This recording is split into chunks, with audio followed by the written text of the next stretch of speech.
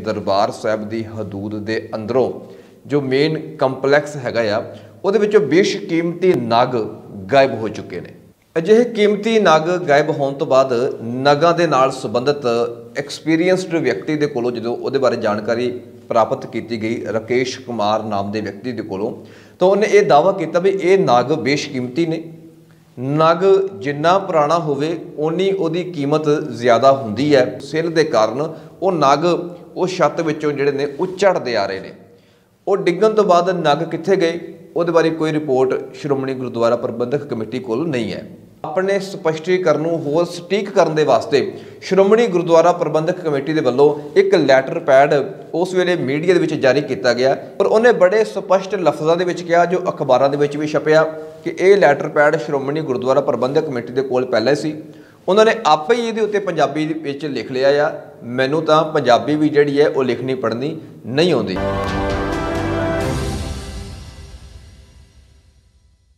ਵਿਰਾਸਤ ਟੀਵੀ ਦੇਖ ਰਹੇ ਆਪ ਸਾਰੇ ਹੀ ਦਰਸ਼ਕਾਂ ਦਾ ਸਵਾਗਤ ਹੈ। ਮੈਂ ਇੱਕ ਵਾਕ ਸਿੰਘ ਪੱਟੀ ਲੈ ਕੇ ਹਾਜ਼ਰ ਹਾਂ। ਵਿਸ਼ੇਸ਼ ਪ੍ਰੋਗਰਾਮ। ਆਪ ਸਾਰਿਆਂ ਨੂੰ ਮੇਰੇ ਵੱਲੋਂ ਵਾਹਿਗੁਰੂ ਜੀ ਕਾ ਖਾਲਸਾ, ਵਾਹਿਗੁਰੂ ਜੀ ਕੀ ਫਤਿਹ। ਦੋਸਤੋ, ਜਿਵੇਂ ਕਿ ਬੀਤੇ ਕੁਝ ਦਿਨਾਂ ਤੋਂ ਇੱਕ ਮੁੱਦਾ ਵਿਸ਼ੇਸ਼ ਤੌਰ ਤੇ ਗਰਮਾਇਆ ਹੋਇਆ ਹੈ ਤੇ ਇਹ ਜੁੜਿਆ ਹੋਇਆ ਹੈ ਸਿੱਖ ਕੌਮ ਦੀ ਸਿਰਮੌਰ ਸੰਸਥਾ ਸ਼੍ਰੋਮਣੀ ਗੁਰਦੁਆਰਾ ਪ੍ਰਬੰਧਕ ਕਮੇਟੀ ਦੇ ਨਾਲ। ਸੋ, ਇਸ ਮੁੱਦੇ ਵਿੱਚ ਕੀ ਖਾਸ ਹੈ? ਕਿਉਂ ਇਹ ਮੁੱਦਾ ਜਿਹੜਾ ਹੈ ਉਛਲਿਆ ਆ? ਕਿਵੇਂ ਇਹ ਸਿੱਖ ਸੰਗਤਾਂ ਦੀਆਂ ਭਾਵਨਾਵਾਂ ਦੇ ਨਾਲ ਜੁੜਿਆ ਹੋਇਆ ਆ? ਉੱਥੇ ਸ਼ਰਧਾ ਦੇ ਨਾਲ ਜੁੜਿਆ ਹੋਇਆ ਆ। ਬੇਸ਼ੱਕ ਤੇ ਸਮੇਂ ਦਰ ਸਮੇਂ ਸ਼੍ਰੋਮਣੀ ਗੁਰਦੁਆਰਾ ਪ੍ਰਬੰਧਕ ਕਮੇਟੀ ਉੱਤੇ ਵੱਖ-ਵੱਖ ਇਲਜ਼ਾਮ ਲੱਗਦੇ ਰਹੇ ਨੇ। ਭਾਵੇਂ ਉਹ 328 ਸਰੂਪਾਂ ਦਾ ਮਸਲਾ ਹੋਵੇ ਜਾਂ ਮਸਲਾ ਹੋਵੇ ਸਿੱਖ ਲਿਟਰੇਚਰ ਛਾਪਣ ਦਾ, ਸਿੱਖ ਇਤਿਹਾਸ ਛਾਪਣ ਦਾ। ਖੈਰ, ਅਸੀਂ ਉਹਨਾਂ ਵਿਸ਼ੇ ਤੋਂ ਹਟ ਕੇ ਜਿਹੜਾ ਇਸ ਵਕਤ ਅੱਜ ਦੀ ਤਰੀਕ ਦਾ ਅਹਿਮ ਮੁੱਦਾ ਹੈਗਾ ਆ, ਉਸ ਬਾਬਤ ਗੱਲਬਾਤ ਕਰਦੇ ਹਾਂ। 8 ਅਪ੍ਰੈਲ। 8 ਅਪ੍ਰੈਲ ਨੂੰ ਅਖਬਾਰਾਂ ਦੇ ਵਿੱਚ ਵੱਖ-ਵੱਖ ਪੰਜਾਬੀ ਅਖਬਾਰਾਂ ਵਿੱਚ ਇੱਕ ਖਬਰ ਛਪੀ ਕਿ ਦਰਬਾਰ ਸਾਹਿਬ ਦੀ ਹਦੂਦ ਦੇ ਅੰਦਰੋਂ ਜੋ ਮੇਨ ਕੰਪਲੈਕਸ ਹੈਗਾ ਆ, ਉਹਦੇ ਵਿੱਚੋਂ ਬੇਸ਼ਕੀਮਤੀ ਨਗ ਗਾਇਬ ਹੋ ਚੁੱਕੇ ਨੇ। ਇਹ ਕਿਹੜੇ ਨਗ ਸੀ? ਦਰਅਸਲ ਸਨ 1880 ਦੇ ਵਿੱਚ ਅੰਦਰ ਨਕਾਸ਼ੀ ਦਾ ਕੰਮ ਹੋਇਆ। ਅਸੀਂ ਜਦੋਂ ਦਰਬਾਰ ਸਾਹਿਬ ਦਰਸ਼ਨ ਕਰਨ ਦੇ ਵਾਸਤੇ ਜਾਂਦੇ ਆ ਅਸੀਂ ਦੇਖਦੇ ਆ ਉਹ ਨ- ਅੰਦਰ ਦੀਆਂ ਛੱਤਾਂ ਦੇ ਉੱਤੇ, ਦੀਵਾਰਾਂ ਦੇ ਉੱਤੇ ਨਕਾਸ਼ੀ ਤੇ ਮੀਨਾਕਾਰੀ ਦਾ ਬੇਸ਼ਕੀਮਤੀ ਕੰਮ ਹੋਇਆ ਹੈ ਲਗਭਗ 150 ਸਾਲ ਪਹਿਲਾਂ ਇਹ ਕੰਮ ਕਰਵਾਇਆ ਗਿਆ ਸੀ 1880 ਤੋਂ ਲੈ ਕੇ ਤੇ 1910 ਤੱਕ। ਜੋ ਹਵਾਲੇ ਮਿਲਦੇ ਨੇ 30 ਸਾਲ ਇਹ ਸੇਵਾ ਜਿਹੜੀ ਅੰਦਰ ਕੀਤੀ ਗਈ। ਔਰ ਉਸ ਮੀਨਾਕਾਰੀ ਤੇ ਨਕਾਸ਼ੀ ਨੂੰ ਹੋਰ ਖੂਬਸੂਰਤ ਬਣਾਉਣ ਦੇ ਵਾਸਤੇ ਉੱਥੇ ਬੇਸ਼ਕੀਮਤੀ ਨਗ ਜੜੇ ਗਏ।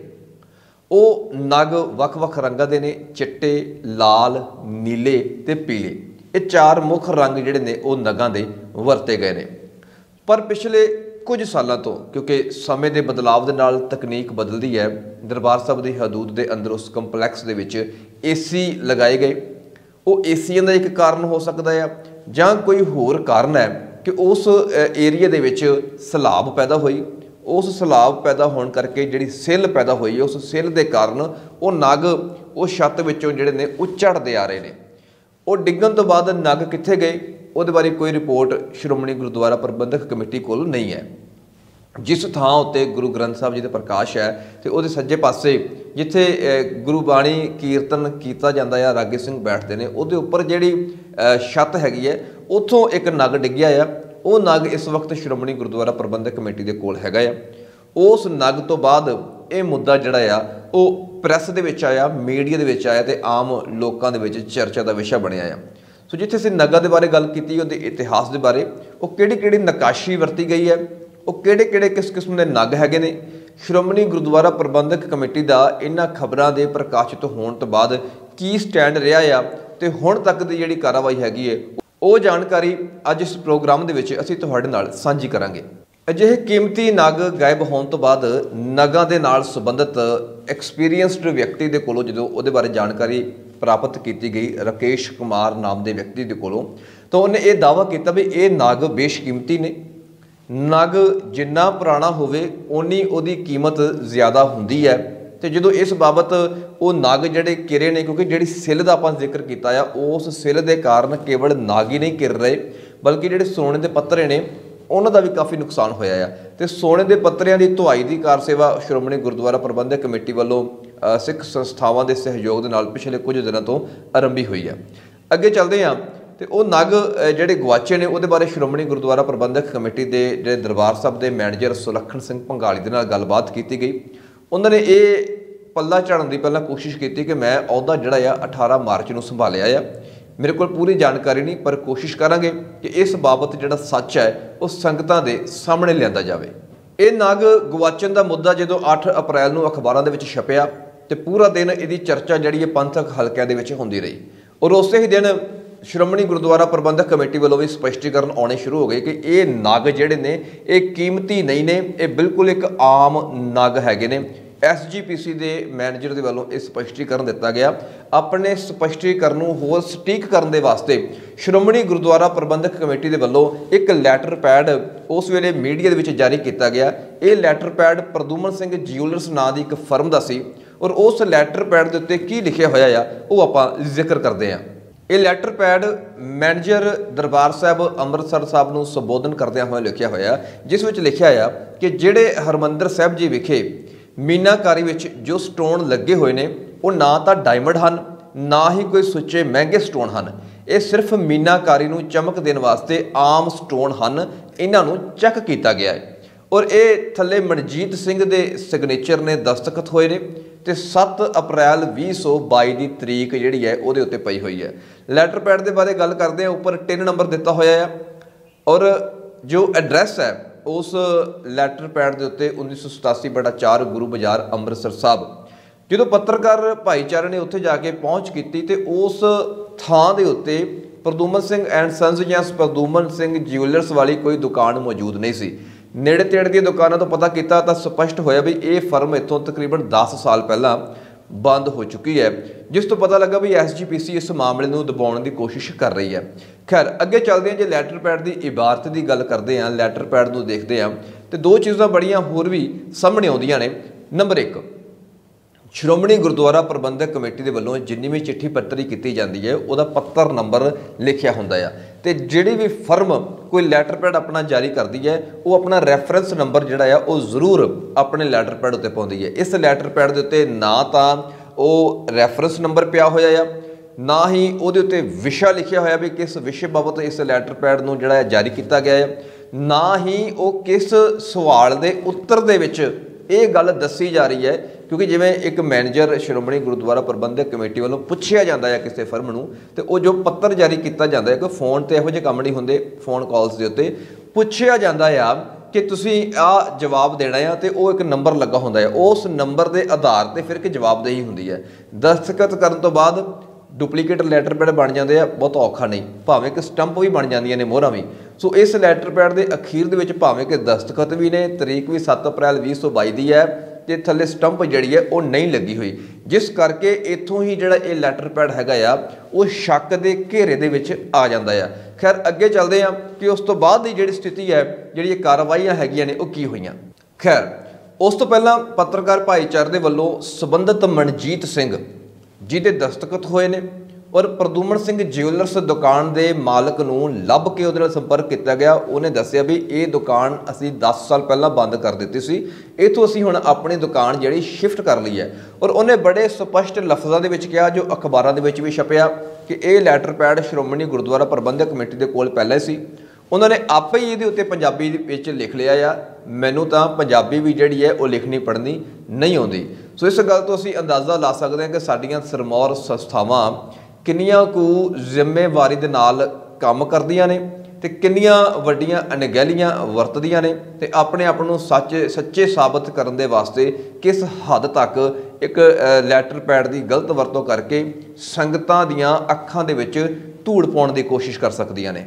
ਸੋ ਜਿੱਥੇ ਇਹ ਮੁੱਦਾ ਹੋਰ ਵੀ ਚਰਚਾ ਦਾ ਵਿਸ਼ਾ ਬਣ ਗਿਆ, ਜਦੋਂ ਸ਼੍ਰੋਮਣੀ ਗੁਰਦੁਆਰਾ ਪ੍ਰਬੰਧਕ ਕਮੇਟੀ ਨੇ ਇੱਕ ਲੈਟਰ ਪੈਡ ਜਾਰੀ ਕਰਕੇ ਪ੍ਰਧਾਨ ਸਾਹਿਬ ਨੇ ਵੀ ਇਹ ਗੱਲ ਆਖ ਦਿੱਤੀ ਵੀ ਅਸੀਂ ਸਰਟੀਫਿਕੇਟ ਦੇ ਲਿਆ ਹੈ ਇਹ ਨਾਗ ਜਿਹੜੇ ਨੇ, ਉਹ ਖਾਸ ਨਹੀਂ, ਆਮ ਹੀ ਨਗ ਹੈਗੇ ਨੇ। ਇਹ ਬਿਨਾਂ ਵਜ੍ਹਾ ਇਸ ਮਾਮਲੇ ਨੂੰ ਤੂਲ ਦਿੱਤੀ ਜਾ ਰਹੀ ਹੈ। ਉਸ ਨਗਾਂ ਦੇ ਬਾਰੇ ਵੱਖ-ਵੱਖ ਸਮੇਂ ਕਿਤਾਬਾਂ ਛਪ ਚੁੱਕੀਆਂ ਨੇ।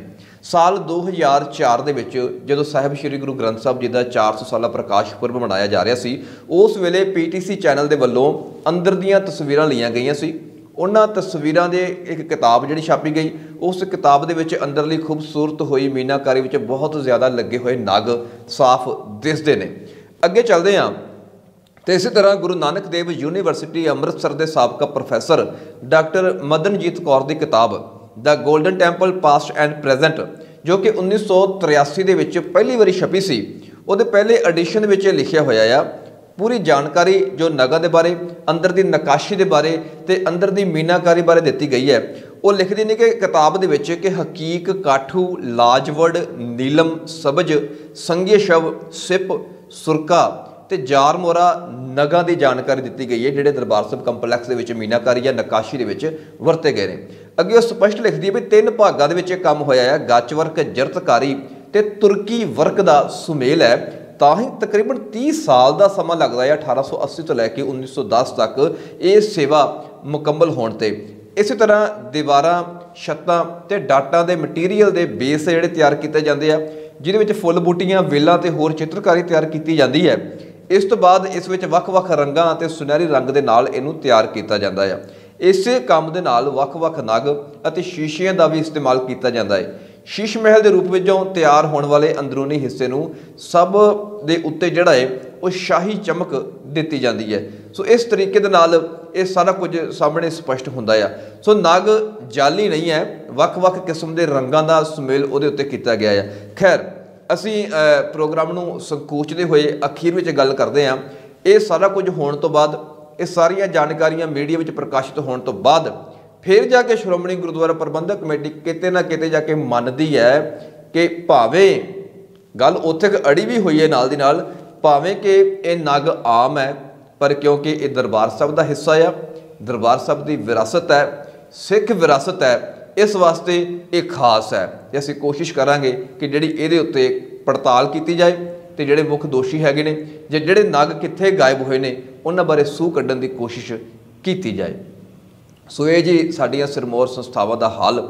ਖੈਰ, ਅਸੀਂ ਅਰਦਾਸ ਕਰਦੇ ਹਾਂ ਕਿ ਪਰਮਾਤਮਾ ਪ੍ਰਬੰਧਕਾਂ ਨੂੰ ਸਮਤ ਬਖਸ਼ੇ ਔਰ ਉਸ ਤੋਂ ਬਾਅਦ ਅਖੀਰ ਦੇ ਵਿੱਚ ਦਿੱਲੀ ਸਿੱਖ ਗੁਰਦੁਆਰਾ ਪ੍ਰਬੰਧਕ ਕਮੇਟੀ ਦੇ ਸਾਬਕਾ ਪ੍ਰਧਾਨ ਸਰਦਾਰ ਪਰਮਜੀਤ ਸਿੰਘ ਸਰਨਾ ਦੀ ਸਟੇਟਮੈਂਟ ਵੀ ਆਈ ਹੈ। ਇਸ ਮਾਮਲੇ ਦੇ ਵਿੱਚ ਕਿ ਸ਼੍ਰੋਮਣੀ ਗੁਰਦੁਆਰਾ ਪ੍ਰਬੰਧਕ ਕਮੇਟੀ ਦੇ ਪ੍ਰਧਾਨ ਐਡਵੋਕੇਟ ਹਰਜਿੰਦਰ ਸਿੰਘ ਧਾਮੀ ਨੂੰ ਚਾਹੀਦਾ ਹੈ ਕਿ ਪਹਿਲ ਦੇ ਆਧਾਰ ਤੇ ਪੜਤਾਲ ਹੋਵੇ, ਕਿਉਂਕਿ ਗੱਲ ਇੱਕ ਨਗ ਨਹੀਂ ਕਿ ਉਹ ਆਮ ਹੈ ਕਿ ਖਾਸ ਹੈ ਕਿ ਸਿੱਖ ਵਿਰਾਸਤ ਦਾ ਹਿੱਸਾ ਆ।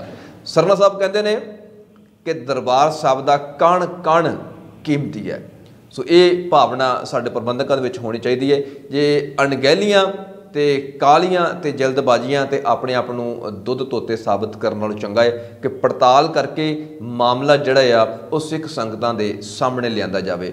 ਉਮੀਦ ਹੈ ਜੀ ਅੱਜ ਇਸ ਪ੍ਰੋਗਰਾਮ ਮੁੱਦਾ ਦੇ ਵਿੱਚ ਜਿਹੜੀ ਖਾਸ ਗੱਲਬਾਤ ਕੀਤੀ ਗਈ ਹੈ ਨਗਦ ਦੇ ਬਾਰੇ, ਇਹ ਸਾਰੀ ਤੱਥਾਂ ਤੇ ਆਧਾਰਿਤ ਹੈ। ਵੱਖ-ਵੱਖ ਸਮੇਂ ਛਪੀਆਂ ਅਖਬਾਰਾਂ ਦੀਆਂ ਰਿਪੋਰਟਾਂ ਦੇ ਉੱਤੇ ਛਪੀਆਂ ਹੋਈਆਂ ਖਬਰਾਂ ਦੇ ਉੱਤੇ ਆਧਾਰਿਤ ਹੈ। ਨਿੱਜੀ ਤੌਰ ਤੇ ਸਾਡੇ ਵੱਲੋਂ ਕੋਈ ਲਫ਼ਜ਼ ਕੋਸ਼ਿਸ਼ ਕੀਤੀ ਗਈ ਹੈ, ਨਾ ਕਿਹਾ ਜਾਵੇ, ਪਰ ਜੋ ਕੁਝ ਸਾਹਮਣੇ ਦਿਸਿਆ ਜੈਸਾ ਦਿਸਿਆ ਤੈਸਾ ਆਖਿਆ ਉਹ ਅਸੀਂ ਜਿਹੜਾ ਆ ਕਥਨ ਨੂੰ ਪੂਰਾ ਕਰਨ ਦੀ ਕੋਸ਼ਿਸ਼ ਕੀਤੀ ਹੈ ਔਰ ਉਮੀਦ ਕਰਦੇ ਆ ਔਰ ਸ਼੍ਰੋਮਣੀ ਗੁਰਦੁਆਰਾ ਪ੍ਰਬੰਧਕ ਕਮੇਟੀ ਦੇ ਮੁੱਖ ਸਰਪ੍ਰਸਤਾਂ ਨੂੰ ਮੁੱਖ ਜ਼ਿੰਮੇਵਾਰ ਆਗੂਆਂ ਨੂੰ ਜ਼ਿੰਮੇਵਾਰ ਅਹੁਦੇਦਾਰਾਂ ਨੂੰ ਅਸੀਂ ਜ਼ਰੂਰ ਅਪੀਲ ਕਰਦੇ ਆ ਕਿ ਹਰ ਮਸਲੇ ਦੇ ਉੱਤੇ ਜਿਹੜਾ ਸਿੱਖ ਸ਼ਰਧਾ ਦੇ ਨਾਲ ਸਿੱਖ ਆਸਥਾ ਦੇ ਨਾਲ ਸਿੱਖ ਸਿਧਾਂਤਾਂ ਸਿੱਖ ਇਤਿਹਾਸ ਸਿੱਖ ਸੱਭਿਆਚਾਰ ਦੇ ਨਾਲ ਜੁੜਿਆ ਹੋਇਆ ਆ ਉਹਦੇ ਬਾਰੇ ਜਵਾਬਦੇਹੀ ਸੰਗਤ ਵਿੱਚ ਸ਼੍ਰੋਮਣੀ ਗੁਰਦੁਆਰਾ ਪ੍ਰਬੰਧਕ ਕਮੇਟੀ ਪਹਿਲ ਦੇ ਆਧਾਰ ਤੇ ਕਾਇਮ ਕਰੇ ਤਾਂ ਕਿ ਜਿਹੜਾ ਵਿਸ਼ਵਾਸ ਹੈ 1900 ਤੇ 20 ਵਾਲਾ ਉਹ ਸ਼੍ਰੋਮਣੀ ਗੁਰਦੁਆਰਾ ਪ੍ਰਬੰਧਕ ਕਮੇਟੀ ਵਿੱਚ ਆਮ ਸਿੱਖ ਸੰਗਤਾਂ ਦਾ ਹਮੇਸ਼ਾ ਹੀ ਬਣਿਆ ਰਵੇ ਲੈਨੇ ਜੀ ਇਜਾਜ਼ਤ, ਮਿਲਦੇ ਅਗਲੇ ਪ੍ਰੋਗਰਾਮ ਵਿੱਚ। ਤਦ ਤੱਕ ਲਈ ਮੈਨੂੰ ਦਿਓ ਇਜਾਜ਼ਤ। ਵਾਹਿਗੁਰੂ ਜੀ ਕਾ ਖਾਲਸਾ, ਵਾਹਿਗੁਰੂ ਜੀ ਕੀ ਫਤਿਹ।